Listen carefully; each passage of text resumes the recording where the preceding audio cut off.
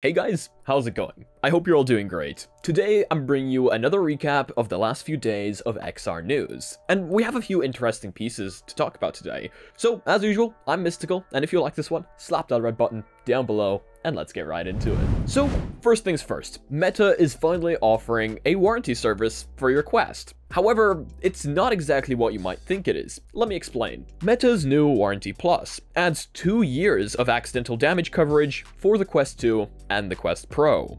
Meta now offers a Warranty Plus program covering two years of accidental damage to either your Quest 2 or Quest Pro.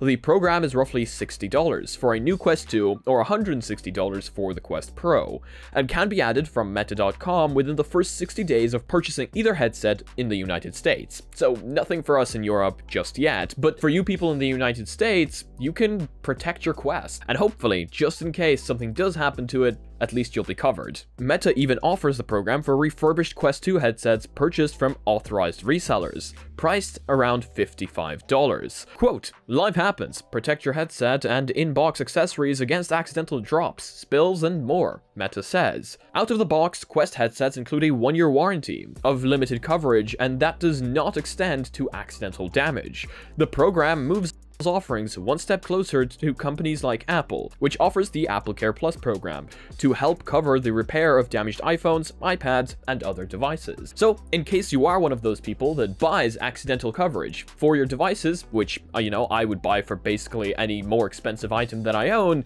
because again, life happens. Well, you can now do that as long as you're in the United States. Anywhere else, we don't have it just yet, but knowing Meta, it'll come everywhere else sometime in the future. Let me know what you think about this one down below. Is this something you're interested in, and is it something you're going to be getting? Let's move on to the next piece of news. VR mods. Mods that make flat screen games or 2D games work in virtual reality. Recently, we've been getting more and more of them, and they've been working incredibly well. Multiple of them even with controller support.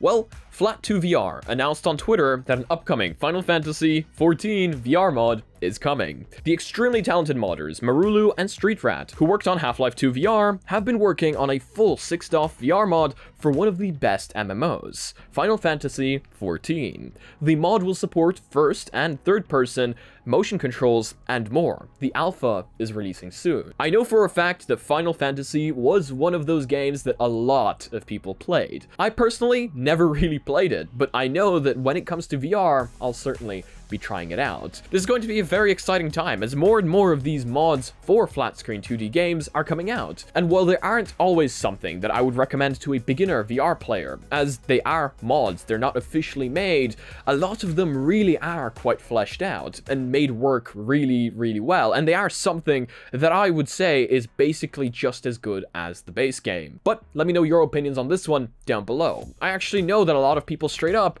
are quite against putting 2D games in VR, but I'd love to hear your opinions. Talking about new games, the co-op VR stealth action game Espire 2 releases on the Quest 2 later this month. Co-op VR stealth action game. Espire 2 is headed to the Quest 2 later this month, with a pre-order discount starting today. A new developer diary video shows the latest in the game's developments. Developer Digital Lode today announced that its upcoming co-op VR stealth action game Espire 2 is set for a release date on November 17th. The game is also compatible with the Quest Pro, but not with the original Quest. Espire 2 is available for pre-order today, offering a 10% discount off the full $30 price. Espire 2 is the second entry in the series, but the first which includes co-op for up to two players. The studio says the co-op mode is a separate campaign that bridges the gap between Espire 1 and Espire 2. However, it sounds like the game's primary campaign won't support co-op. Espire 1 is actually a game I played on PC VR,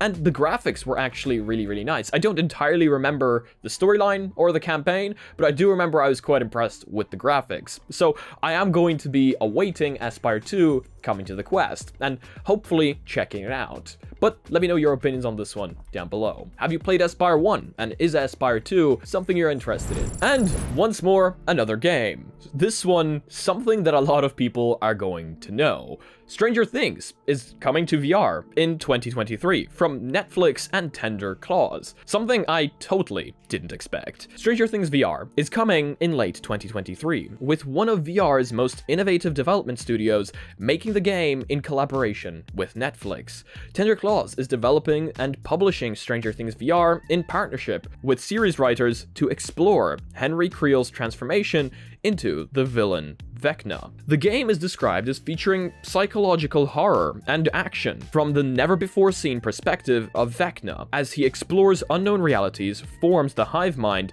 and enacts his plan for revenge against Eleven and Hawkins. Stranger Things VR is coming to major VR platforms in late 2023, and was revealed in a trailer premiering on YouTube today. So while it's not coming anytime soon, it does seem to be a rather large title, with both Tender Claws, who are the creators of Virtual Virtual Reality, and Netflix being involved, which is quite a large duo. And people love telling me that we don't have enough of these large titles coming from these large studios, some AAA games coming out.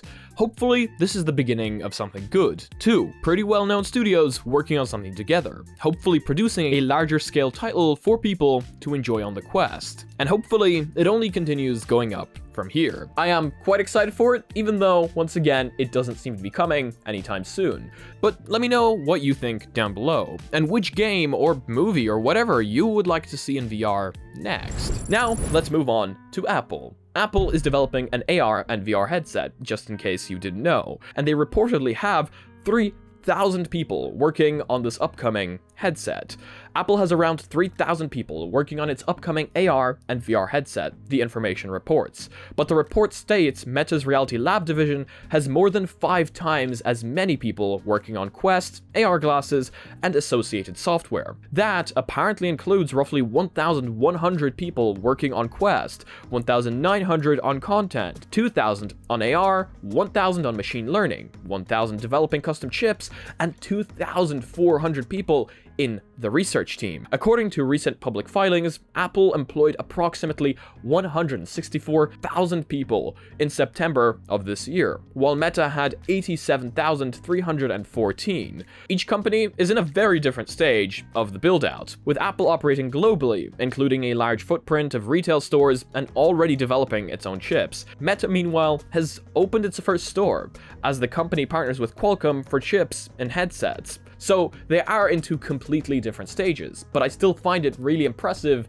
that a company like Apple has 3,000 people working on a VR headset. Even though according to stats, it is still a rather small number of the amount of people that they actually employ, but we do know that they are only in the beginning stages, and hopefully this number does grow as they move on. And Meta might have more, but they are sort of deeper into the game. So I am interested to see that number grow for Apple as they move into to the next stage of production, or creation, or whatever they're on right now.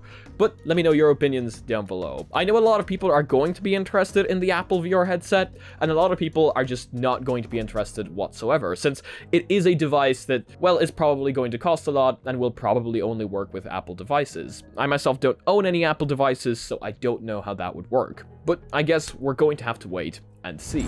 And just a few notes of mention, the new StonX cookie body tracking demo has come out, so StonX is going to be another alternative for a full body tracking for you guys. We have a rough price estimate and an Indiegogo launch campaign date, so in case that's something you're interested in, I'll leave a link to their Discord and the tracking demo down below. It does seem quite impressive. They've gone from having these large reflective cookies to now having these standalone devices that can be both beacon tracked and not beacon tracked. So I feel like they've come a long way and it is getting quite impressive. But I'll let you decide that for yourself down below. And also the Pimax crystal. A lot of people seem to think we haven't talked about it or we haven't seen the headset. We actually have a full live stream reacting to it live right up here in case that's something you're interested in. But the Pimax crystal, a standalone device launching from Pimax that is going to have some pretty damn nice specifications. It's going to have interchangeable lenses, interchangeable batteries, and a full WiGig system for PC VR.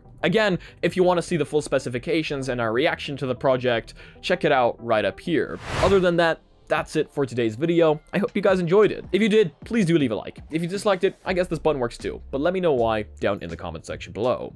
Thank you so much to the Patreon supporting this channel. You guys help me out a ton, paying my bills, paying my subscriptions, and helping me make these videos better. If you guys are not yet part of our community, check out our Discord down below, and check out our Reddit, where I want to see you posting your spice memes.